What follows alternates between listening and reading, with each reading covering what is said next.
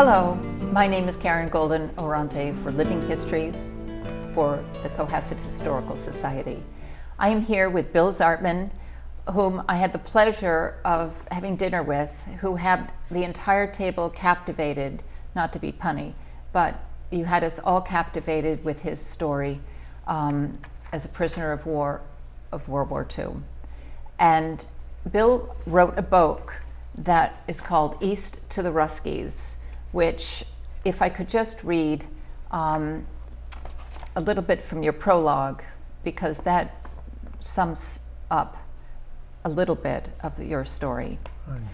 In late January 1944, 1st and 3rd American Ranger battalions, with the 4th in the rear, 767 Rangers were ordered on a night raid on Cisterna, Italy. Intelligence had indicated there would be little or no German presence in the area. Unfortunately, intelligence was faulty, resulting in one of the most colossal of loss of life in World War II. When it became obvious that our casualties were so severe that continuation of the mission would have assured the annihilation of the two battalions, we surrendered. I had been hit by sniper's bullet in my back, but my wound was clearly not life-threatening, and I joined the others who were ambulatory. We were a young group of rangers.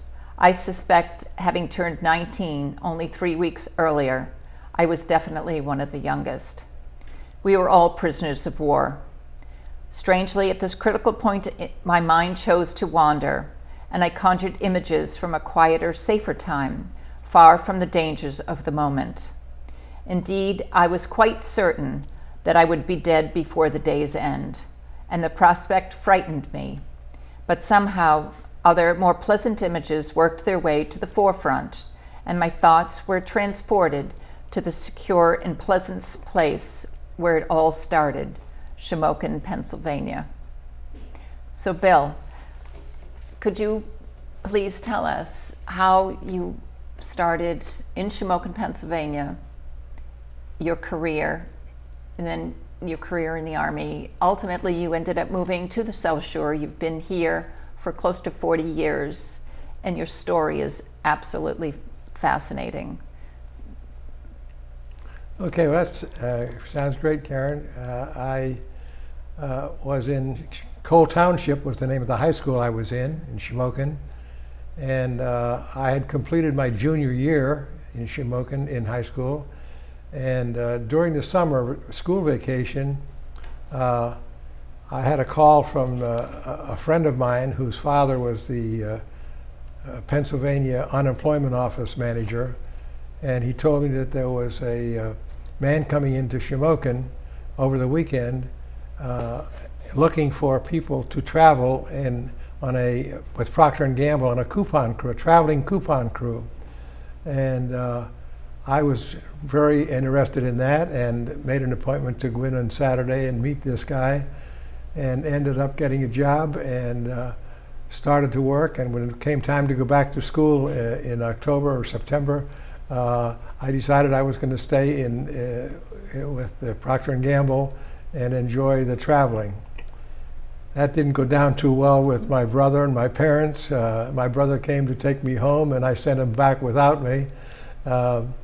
But I stayed there, and uh, we were. Uh, what was happening was uh, the coupon crews were, consisted of a crew manager and five uh, crew, five people on the crew, and and then another guy who had a three-quarter ton panel truck with P&G signs all over the sides of it. He would call on the local grocery stores in advance of the coupon crew and uh, have them make sure that they all had enough product of the, all the new products that P&G had introduced in the past year, like Duz and Ivory Snow and Ivory Flakes and so on, Crisco, Drene Shampoo. Uh, and the coupon crew would go door to door and hand out coupons and then they would cash them in at the store. In any event, the man who was the store man, as we called him, who had the panel truck, uh, he got drafted and they were looking for a replacement and my boss said, Do you think you can handle that job? I said, Sure. So I became storeman, and uh, On December the 7th, I was in, I had just pulled into Reading, Pennsylvania on a Sunday, and we were going to start couponing the town on a Monday. And uh, it was a snowy, cold day, I remember, and I got a, a room in a uh, B&B, place similar to what we call a B&B today in West Reading, Pennsylvania. And I went into town to see what the town looked like, because I had never been to Reading before. And uh, I saw they had a very nice department store there, and I went in to see if I could find a gift for my mother for Christmas, because it was coming up quickly, soon. And uh, I bought my mother a scarf, and I, I met a the, the, young lady who was the clerk in the store was very attractive and uh, very friendly. So I suggested uh, it was too bad that I didn't know her sooner. I could uh, maybe invite her to dinner tonight. And she said, well, maybe we could, we could get acquainted over dinner. And uh, I dated her, and uh, that night when we came back, we went to a movie and dinner. And when we came back, her mother said, you know, they're predicting a very bad snowstorm. She said, I don't think you should try to drive to your to play your staying. I think you should stay here overnight. And I did, and I slept on the sofa bed in the living room. And in the morning, I woke up to hear the Atwater Kent radio playing music, and then I heard them break in on the radio and announce that uh, Pearl Harbor had just been invaded by the Japanese, or uh, uh, they had bombed out all the ships in the harbor. That was my introduction to World War II. Um, I went home for Christmas, and uh, uh, a few days after the 1st of January, I got a phone call from the man, his name was Mr. Reitiger, Bud Reitiger, he was in Philadelphia. He was in charge of all field advertising for Procter & Gamble. And he said they had just uh, had the salesman for New England had just been drafted, and they needed a salesman to cover all of New England. He said, do you think you could handle the job? I said, sure. So he told me to go to New York, to a place in New York at the port of embarkation, pick up a brand new Country Squire Ford station wagon, drive up to Boston, go to this address, meet a guy by the name of Stan Gallagher, who was the guy being drafted, and uh, that, that, I would replace him. So I took over all, he gave me all the uh, description of what my jobs would be, turned the maps over. We all worked from maps.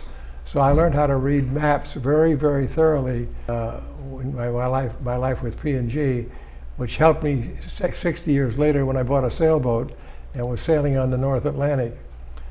Uh, anyway, uh, I went to Boston. I covered Maine, New Hampshire, Vermont, Rhode Island, Connecticut, Massachusetts. I worked for the year there, and uh, at the end of the year, I went home for Christmas again in December. And shortly after Christmas, uh, I turned 18, January 3rd, 1943. And um, I petitioned my parents to approve my going in the service even though I was 18, I had to have, still had to have parental approval. Um, so I signed up for the duration. In a few weeks, was sent to Indiantown Gap in Pennsylvania, near Harrisburg, the capital of Pennsylvania. From there, I, they, I was assigned to. Uh, they chose, uh, first of all, the Army, and then secondly, the infantry. And uh, I got my new set of clothes to replace my Hickey Freeman suits that I had. And, and I was, next thing I found myself on a train on my way to Florida. And I thought, boy, this army isn't, life isn't bad. Uh, first, the place they send me is to Florida. Boy, I'd have done this easily any time.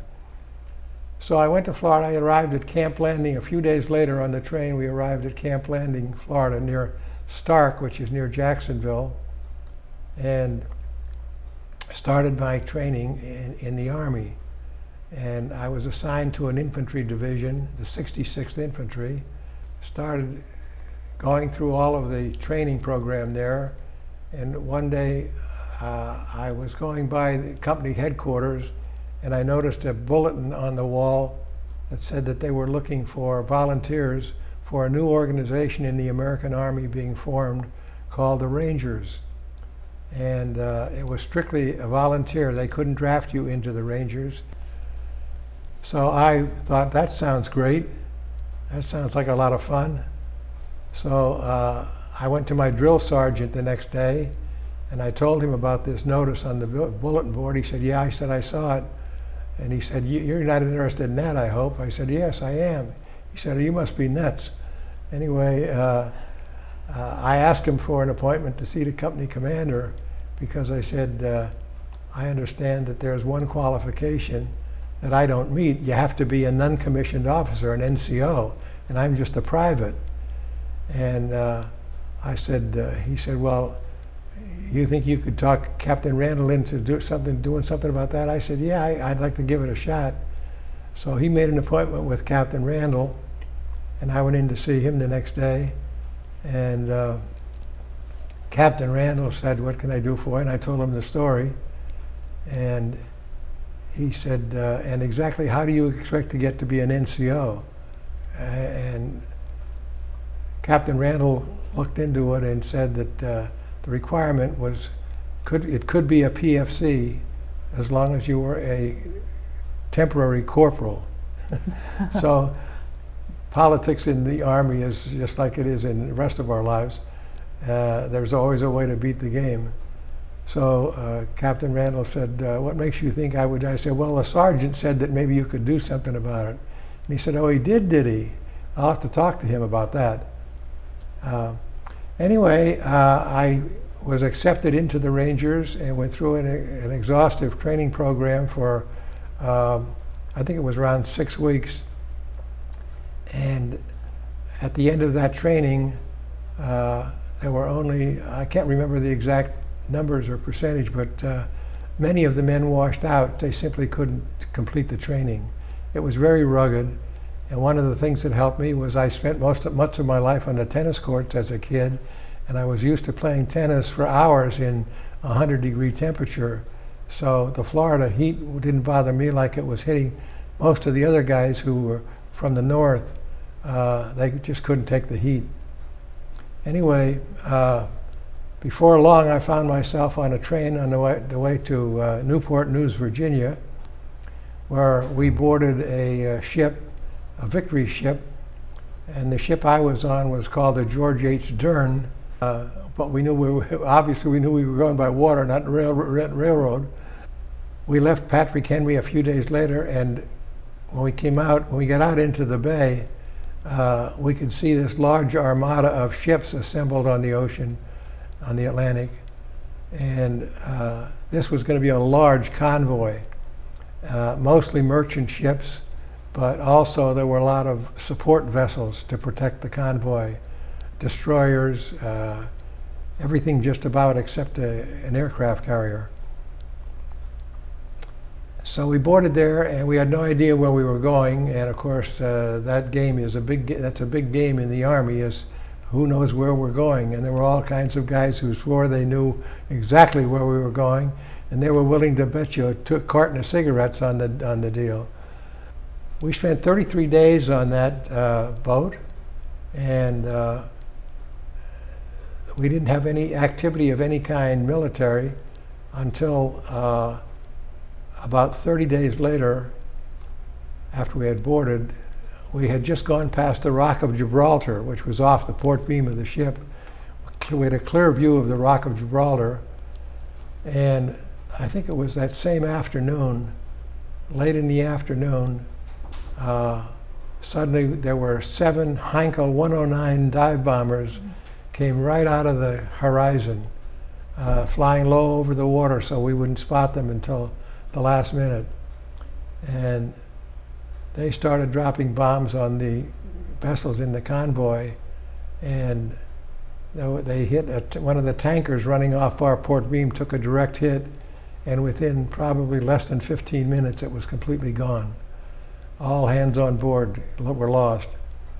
Uh, I don't know about the rest of the convoy. Uh, I was on a 20. I was assigned to a 20 millimeter gun uh, because the, uh, there weren't enough sailors on board to man all the guns on the merchant ships. So they had asked for volunteers to man the 20 millimeter guns. and I had volunteered for that, so I ended up on the Port Bridge. So that was my first action in World War II. Uh, after the uh, experience on the Mediterranean with the Heinkels, uh, several days later, we pulled into Naples, Italy. So uh, the guessing game was over. We at least know where we're at now.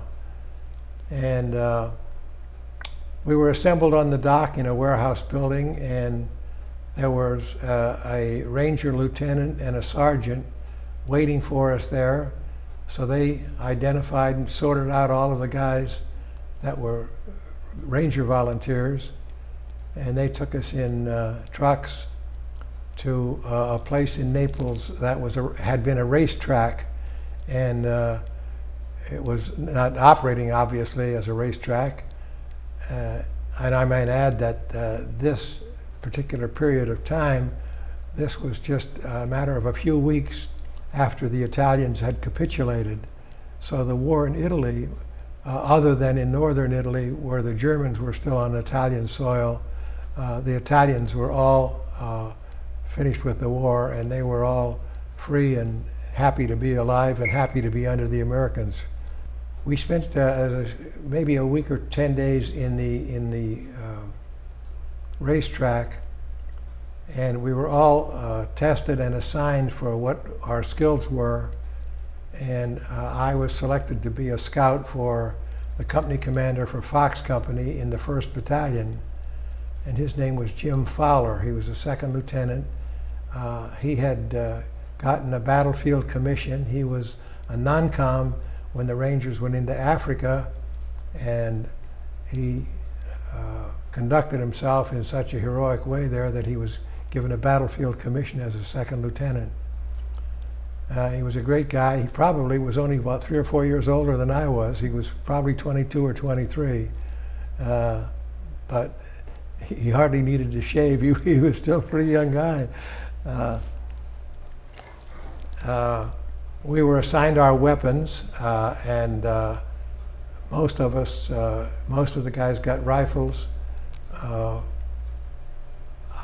There was one guy, my friend Danny, who was a very large guy and, and rugged as blazes, and Danny was assigned a BAR, which is a Browning automatic rifle. And it takes a real man to handle a BAR because it has a bipod, and unless you're laying on the ground and supporting the barrel with the bipod, you can't hold it. it, it'll, knock you right over firing it. And uh, anyway, Danny was the kind of a guy who was rugged enough to take that thing and put it up and, at his waist and fire it and still control it. I was assigned uh, as, a, as a scout for the, the company commander, as I said, and um, I was issued a, a Thompson submachine gun, a 45 pistol, and a combat knife. Just about every one of us was issued a combat knife, and we were trained uh, skillfully in, in the use of knives uh, because of doing behind the enemy lines. One of the purposes of the Rangers was to make raids behind the enemy lines, and it was to be as quiet as possible. They tried to train you that you could go in, do your job, and get out without anybody knowing you were even there. So we were then uh, we we got on trucks there, and uh, we went to probably an hour, an hour and a half away by truck north of Naples. We came to a town by the name of Venafro, Italy. Uh, came down out of the trucks, and we were assembled and told that we were going to have to go through the center of the town of Venafro, and we couldn't, the vehicles couldn't go through there because they were, they were too much, they made too much noise and they would announce our coming. So we were going to walk through, so we had to be alert of any possible snipers on either side of the street, the main street that went through the center of town. Anyway, we did that and we came out the other side of town, the north side, and uh, there was, we, we, it was dark and we walked into a bivouac area that was the 180th Regiment of the American Army. Anyway, we uh, dug our foxholes and bedded down for the night there. And the next morning at, at daybreak, uh, we saw this big field kitchen was set up by the infantry organization. One of the things that, that we didn't have in the Rangers, we didn't have medical supply, uh, medics, excuse me, and we didn't have any kitchen. So we had no way of, of getting our own food. So what they did, the way they did handle that was wherever we were, in Africa, Sicily, Italy, uh, they, we would be a, whatever, whatever infantry outfit we were closest to would be given the job of feeding us uh, three meals a day. Well, we only got breakfast at this one here, and, and then we were off to the top of the mountain. Uh, one of the things that I never, I've never lost sight of that I experienced for the first time while we were at that field kitchen having breakfast, uh, I observed little Italian kids, six, seven, eight years old, uh, all hanging around the, the mess pails. Uh, we had big, there were large uh, trash barrels, and when you finished eating, you would take your mess kit, which of course you had to clean and take with you because it was with you permanently. Your mess kit, it was a metal mess kit. And you had to clean it out in these barrels. And these Italian kids were waiting there, and uh, they knew that when everybody was finished eating and they closed the kitchen, that the kids would be allowed to go into these barrels. And I stood there and watched and waited and saw this happen. These kids reaching over the barrel, just taking a, the mix of food in the barrel in their hands and eating it right out of the barrels. A picture that I've never lost sight of. Uh, how lucky we are to have what we have here, here at home. Uh, anyway, uh, that same day, uh, Colonel Darby got up in front of the group, put his hand up in the air, and said, Follow me. And I found out another tradition of the Rangers.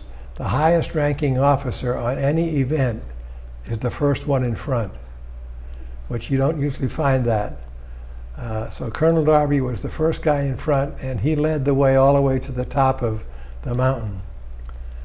Uh, this mountain happened to be in a range of mountains south of Monte Cassino, where the Abbey was, the famous Abbey that was bombarded so heavily in World War II. Two battalions following him, the first and third. We started off at the top of what uh, became Mount 509 or Mount Corno for a couple hours we were walking through heavy timber, heavy tree, tree, treed areas on a trail that was very rough. And, and then when we come out of that at a level, when we come out of the, where the foliage was, it was all rock. From there to the top of the mountain was all rock. And the trail in, through the rocky areas particularly was all switchback. You'd go and change direction constantly and the trail was just wide enough. The only people who went there, other than military men, uh, were the mules. And I found out again about the importance of mules in, in a war. Uh, the mules were used for two things. The mules were used, the mule train came up the mountain every day, bringing ammunition and food and supplies. Whatever we needed, it came up by a mule train. And these were large containers that were strapped two of them, one on each side of the mule's back, in order to balance the weight of the, the load. And then on the way back down, they would take the dead down. So you'd have Americans slung over the mules in, barrack, in, in body bags uh, on their way down to be buried by the whatever infantry outfit was on the foot of the mountain. And uh, that was pretty well a procedure, I think, in general we spent uh, right uh, just about a month uh, on the top of Mount Corno and uh, freezing cold. I'll never forget Thanksgiving, and Colonel Darby was the same way. He would have never forgotten Thanksgiving. On Thanksgiving, uh, Colonel Darby had arranged to have a hot meal brought up on, on a mule train. So they had a special mule, couple of mules with large stainless steel uh, uh, uh, pots uh, slung up one each, one each side of the mule's back and they had everything laid out in there in layers. They had uh, the, tur- the turkey and the stuffing and so on. Then they had another layer where they had vegetables and another layer for desserts and so on. So it was a pretty complete meal. And we all enjoyed it on Thanksgiving Day. We had a great meal. And the reason we'll never forget it because uh, about one or two o'clock in the morning, all of a sudden everyone is uh, going to the latrine area. And it turned out that just about every one of us had the GIs. And Colonel Darby was livid. And he, I never heard him swear before. He, he was a very uh, well uh, versed man and uh, knew the English language better, and he used it. He didn't, he didn't swear at anything. But he did that day, or he came close to it anyway. Um, and he said, if I ever get down and get a hold of the cook that uh, put this together and failed to clean those pots, he said he'll be in, working in the kitchen for a long time, but he won't be touching any food. anyway, uh, we came down off of the mountain in December, and uh, we were shipped back to Naples uh, by truck, and then uh, taken out to a little town called Pozzuoli, uh, which is right on the uh, water uh, on the east part of Naples. And we were there for a couple of weeks. Uh, they had tents set up on the beach. It was a very delightful place, actually. There was a train station there that you could, if you wanted to go into Naples, you could take a train into Naples, which we did on a number of occasions. It was great. And we had some R&R. We had some, we had to take in, get replacements for all of our dead. So we had quite a few bodies we had to replace in the Rangers to come up to our numbers. And uh, from there, we went by truck in January, early January, mid-January, uh, and they were taken. We were taken to a dock where there were a lot of ships, and we boarded the what was it? The Royal Ulsterman was a British uh, ship that was used uh, in England for many years uh, as a uh, like a tourist boat or for, for, to go to Glasgow, I think is where one, one of the destinations it had. Anyway, we were on there. It was a very nice ship, and we had good food, and we went to the an area that was off the coast of uh, Anzio. Anzio, Cisterna were the two key towns that we were going to invade. Uh, both of these towns were on the Appian Highway, better known as the Road to Rome. Uh, and both of them were south of Rome, probably about 50 or 60 miles south of Rome. Around the third week in Anzio, I'm trying to remember the date now for the, the actual invasion date, was uh, in, in late January or mid-January. When we came into the beach in Anzio, much to our surprise, we went in on LCA, LCA's Landing Craft Infantry. And that was a bumpy ride, and a lot of guys got seasick on that ride. And then we got dumped off right in the water, which was not a very pleasant thing. Uh, water was at least waist deep, and you had a full field pack you were carrying, plus your weapon and a lot of ammunition. And uh, it wasn't a very pleasant way to hit the beach, but we did. Uh, we came in, we assaulted the town of Anzio, and much to our surprise, there was no resistance. There was no German there. Hmm. And uh, so we went through all the buildings looking for what was there, looking for people, but we didn't find, didn't find any. Uh, and there was all kinds of material there that uh, sort of re revealed the fact that this was a, had been a an R&R place for the German troops that were coming off of the front uh, at places like Monte Cassino and so on. When, when German troops were getting some R&R, they would bring them to Anzio and they'd stay on the beach there for maybe a week or two and then sent, be sent back to the front again. One of my, in my view, one of the worst mistakes of the war in Italy occurred at Anzio when Colonel Darby wanted to go ahead and head for and take take Rome. Colonel Darby felt that with with two battalions of Rangers and maybe some, some of the paratroopers. There were two battalions of American paratroopers that also had invaded on our left flank at Anzio. And Darby felt that we could take Rome because there was no, no sign of any resistance between where we were and Rome. But General Mark Clark and General Lucas, who were really the uh, decision makers on the, on the Battle of Anzio, wouldn't allow Darby to move ahead.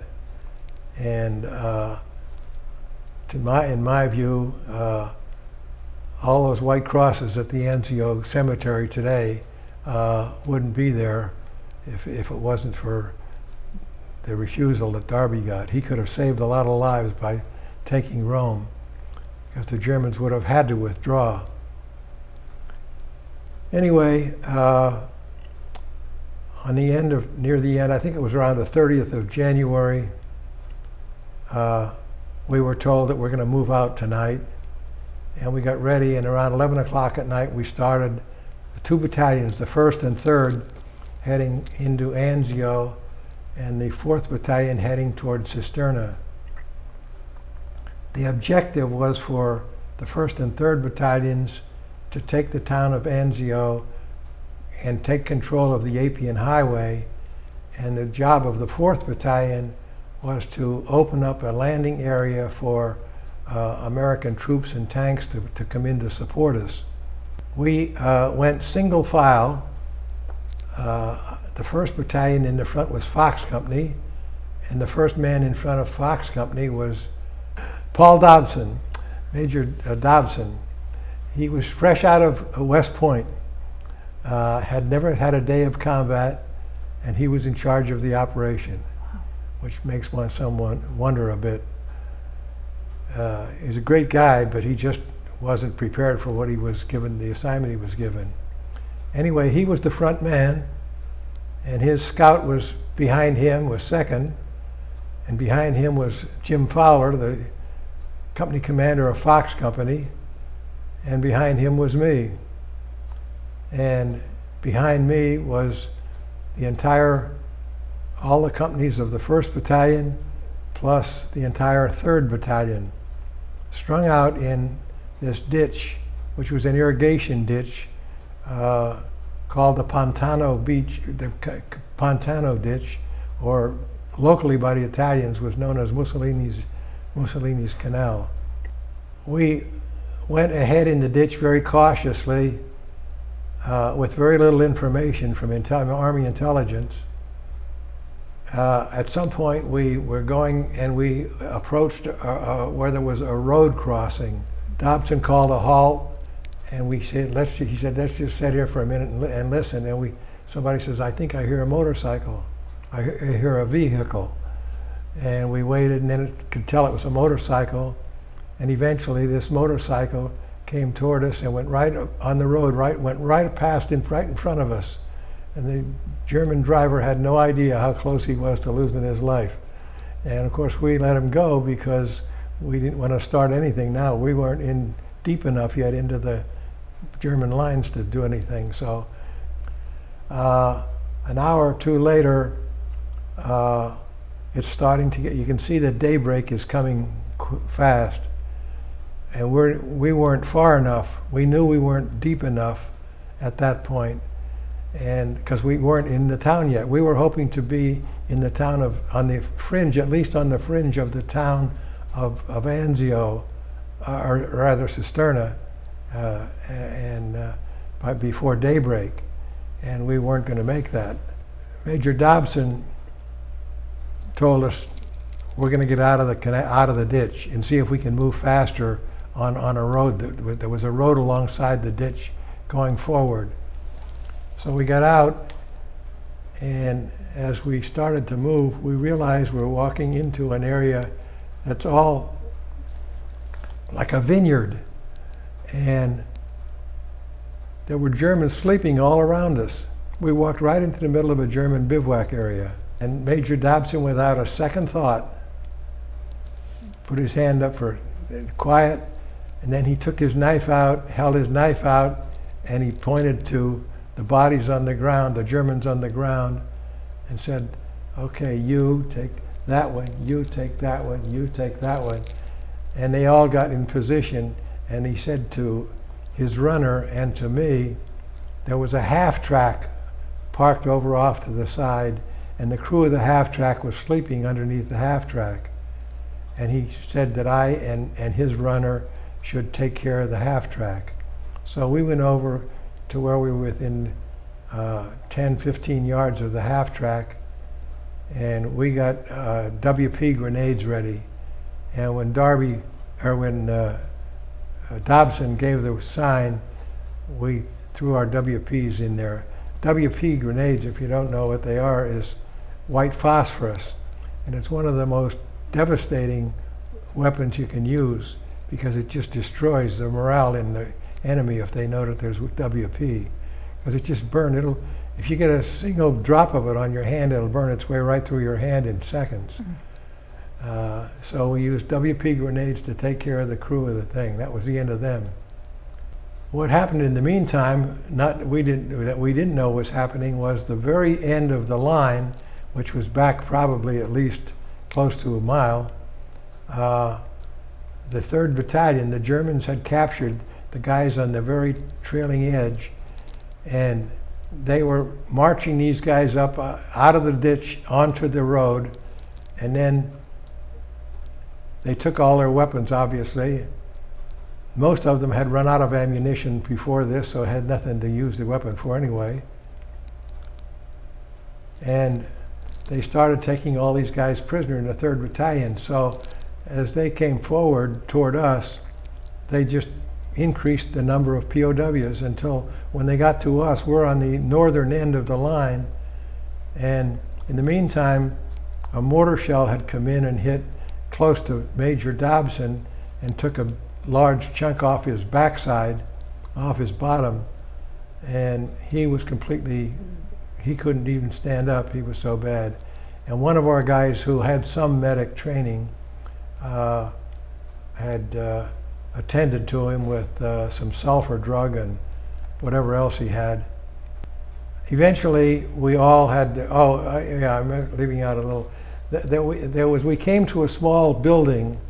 Uh, it was hard to figure out what this building was for. It was about the size of an oversized garage, and it had two floors.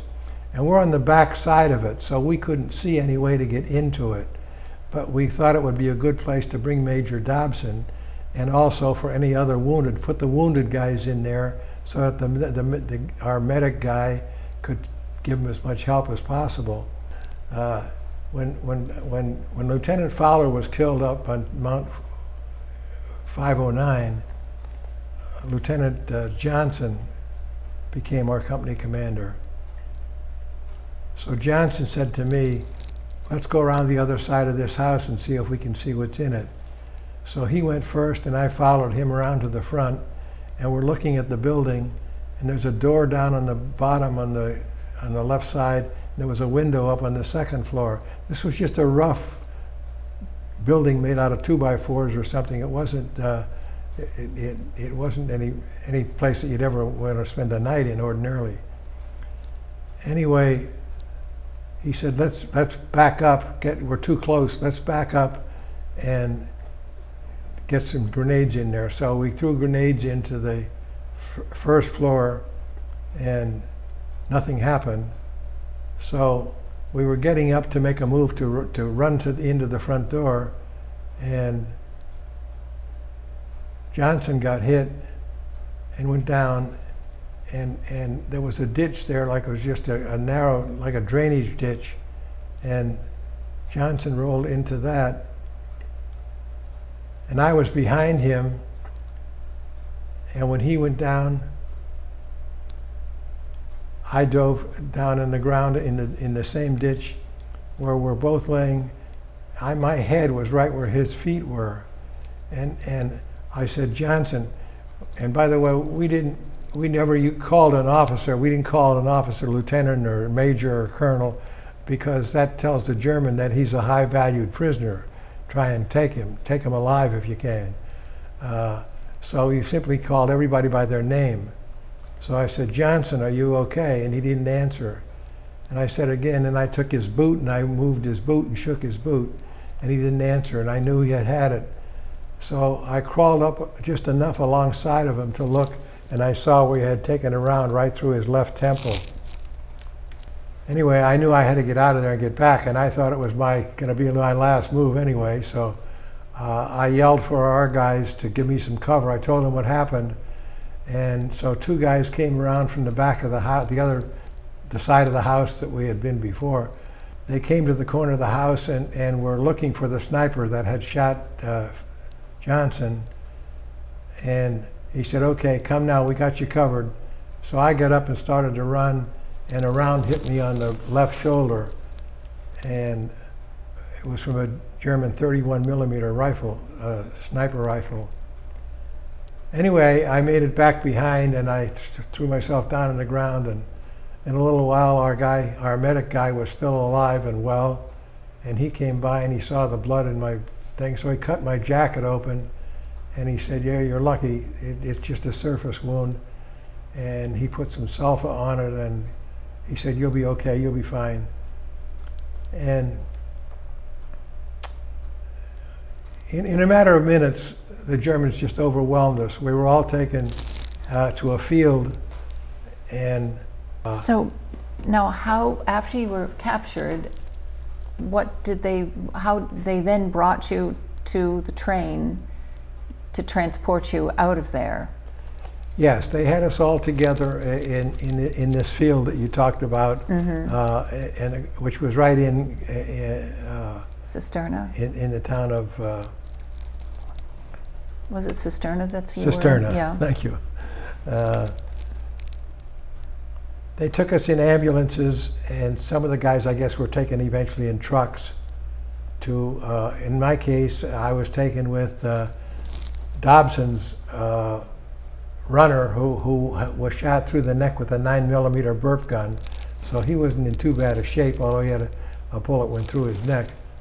And we went into the hospital there, and they took care of us. They, my wounds were very minor, really, and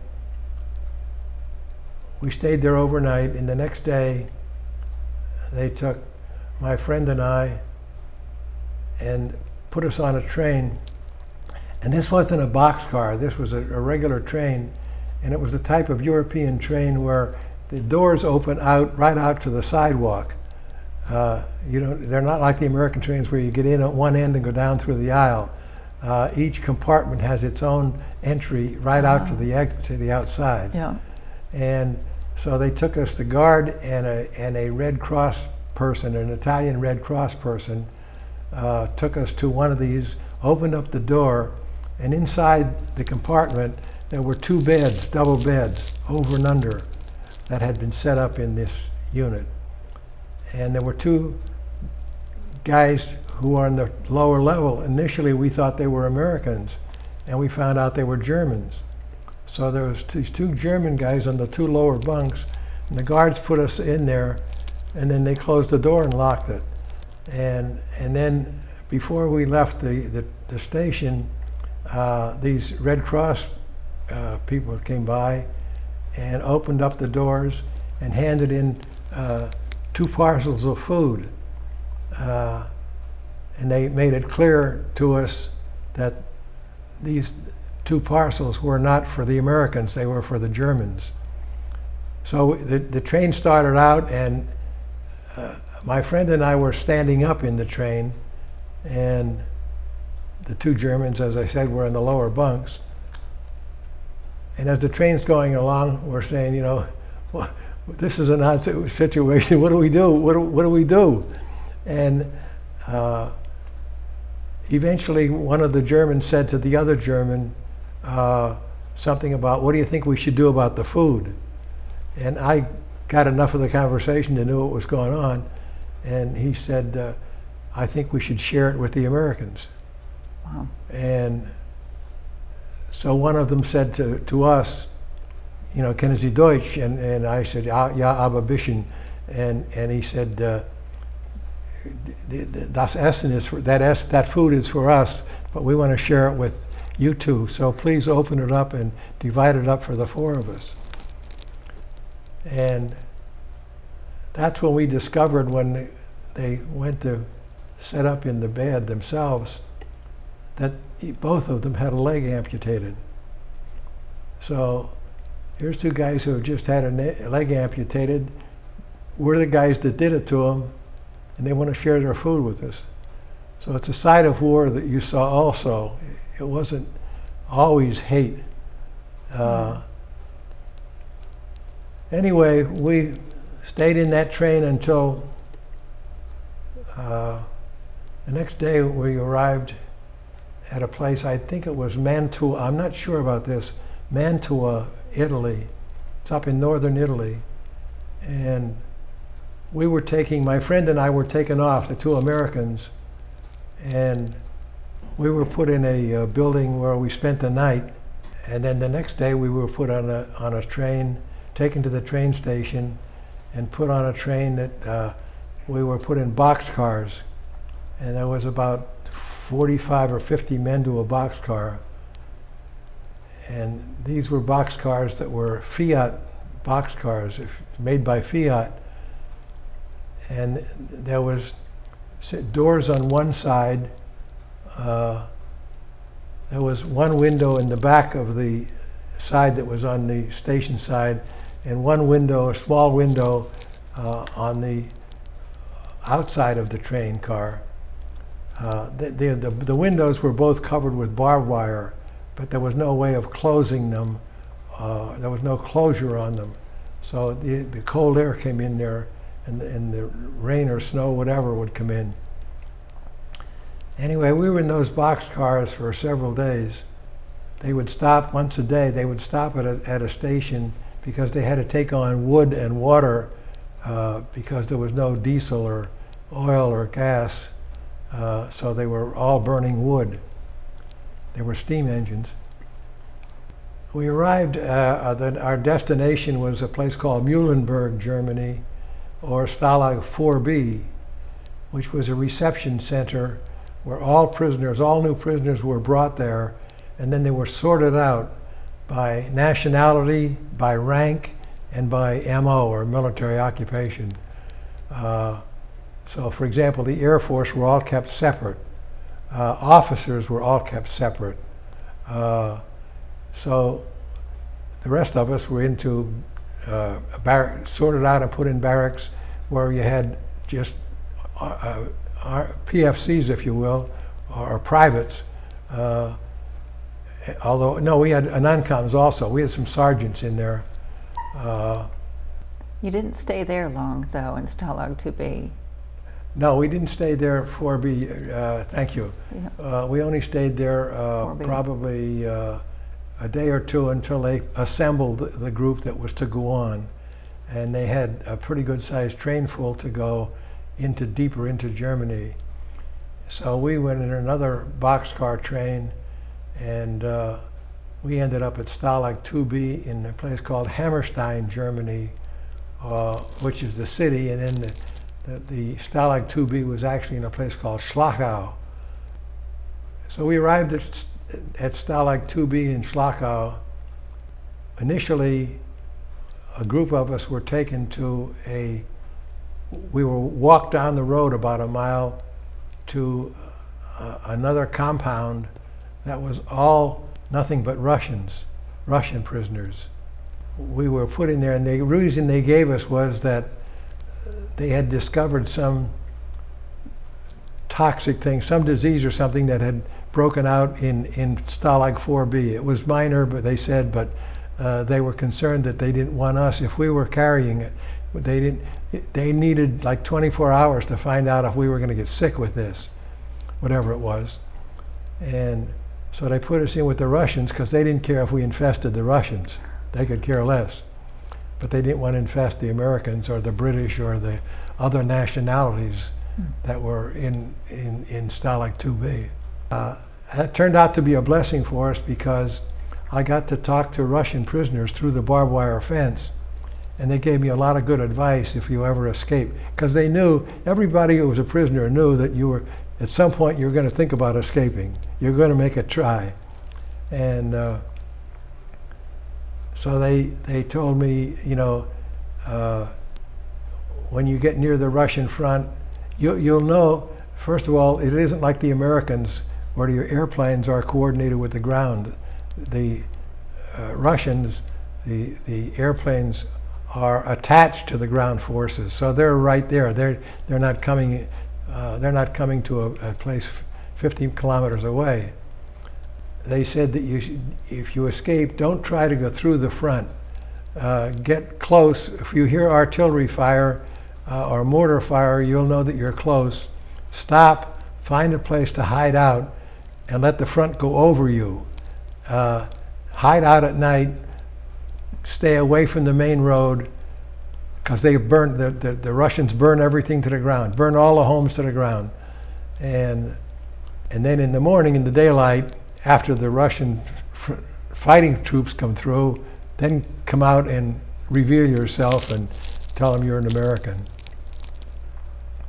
Well, that was good to know because that, that really turned out to be the situation with me, myself. Uh, we were in a day, so they, they found out that there was no problem with us, so they took us back, the group of us, and put us back into Stalag 2B with the rest of our guys.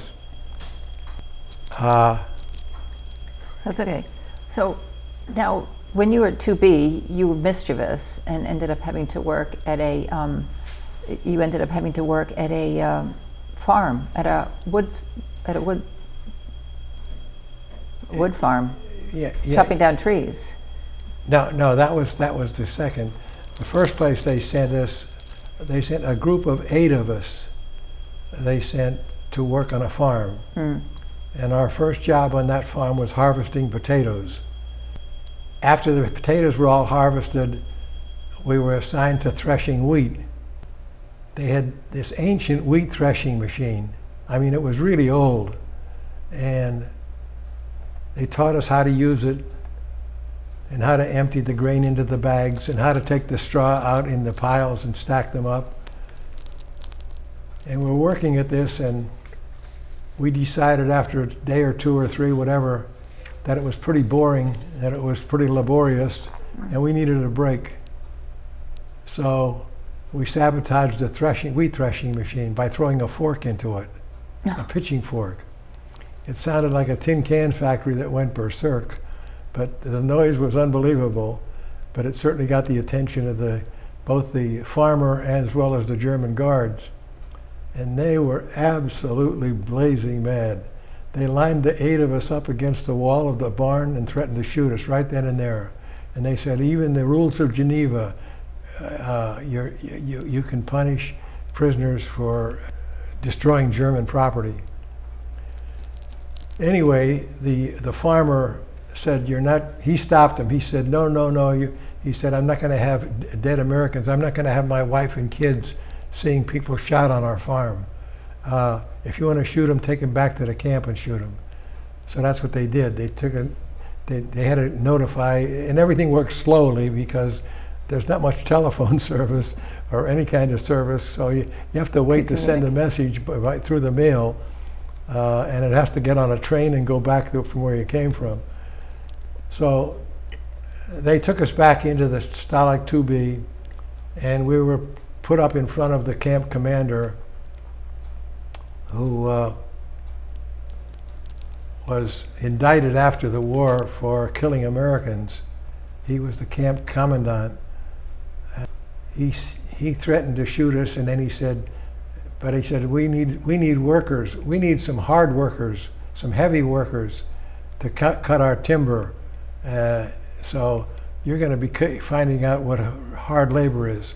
So anyway, they sent the same eight of us out to a forest, and seven guys and myself, and uh, went to this place where we it was a, there was like a farmer's house, or the the guy, the, the German civilian, his name was Karl Weiss, which is Karl White.